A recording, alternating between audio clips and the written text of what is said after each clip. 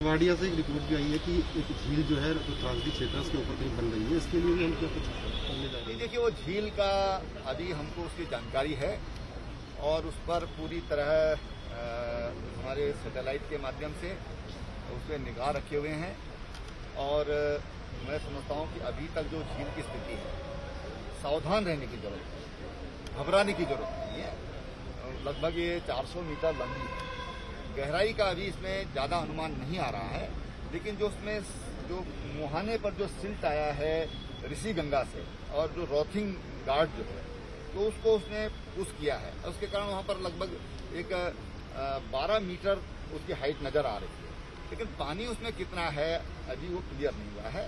तो आज भी वहाँ पर टीम जा रही है, वैज्ञानिकों की भी टीम जा रही है, और कुछ प्रयास हो रहा है कि कुछ लोग वहाँ पर उनको ड्रॉप किया जाए हेलीकॉप्टर के माध्यम से। तो एयरफोर्स उसके लिए तैयार है, लेकिन हमारे पास उसके लिए देखना होगा कि हमारे पास उसके ट्रेन लोग हैं कि नहीं है।